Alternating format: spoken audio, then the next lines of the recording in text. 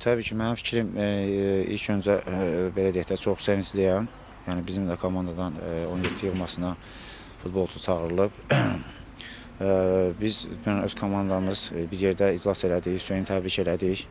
E, Hüseynə uğurlar arzu edirəm, amma e, mən bir şey deyə bilərəm ki, bizim komandada e, yəni mən ad çəkməyəcəm, amma bizim komandada daha e, 3-4 futbolçumuz var ki, e, yığmaya namizəd mən düşünürəm ki, ola bilərlər. Yəni bu seleksiya xarakterli məşq e, zbor olmağına baxmayaraq, tə, təlim məşq toplanışı olmağına baxmayaraq əsas məqsəd burada odur ki, Hüseyn daim ora çağırılsın, nəinki seleksiyaya. E, ya futbolçu bunu dərk eləməlidir ki, əgər mənə bu gün etimad e, göstərilirsə və mən etimadı doğrultmalıyam. E, Hüseyn də mənə söz verib ki, müəllim mən o etimadı doğruldacam və mən onu yəni deyirəm ki, uğurlar arzu edə bilərəm, amma futbolçu kimi meydançada Hüseyn oynayır, biz onlara istiqamət veririk.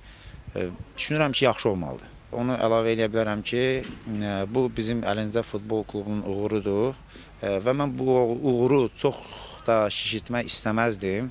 E, Çünki daha e, bizim 3-4 futbolçumuz, hətta 5 futbolçumuz var ki, onlar da növbəti belə deyək təlim məşq toplanışlarında iştirak etməyə layiqdirlər.